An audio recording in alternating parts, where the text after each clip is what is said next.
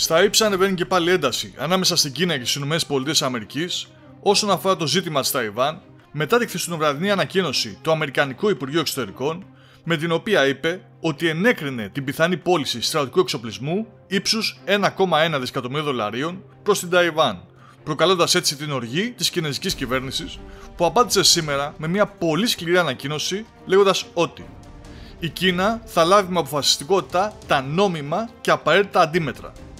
Αυτό δήλωσε ο εκπρόσωπο της κινέζικης πρεσβείας στην Ουάσιγκτον, Liu Pengyu, σύμφωνα με την ελληνική δισογραφική ιστοσελίδα liberal.gr, η οποία χρησιμοποιεί πληροφορίες από το Αθηναϊκό Μακεδονικό Πρακτορείο Ειδήσεων.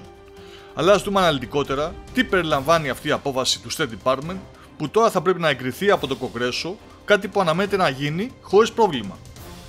100 πύραυλοι αέρος αέρος AIM-9 Sidewinder, 60 διπλοκοί πύραυλοι Harpoon και υλικό υποστήριξης για τα συστήματα ραντάρ στη Ταϊβάν.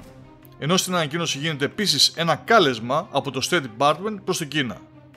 Καλούμε το Πεκίνο να σταματήσει στρατιωτική, διπλωματική και οικονομική πίεση στην Ταϊπέη και ανταυτού να ξεκινήσει διάλογο μαζί της.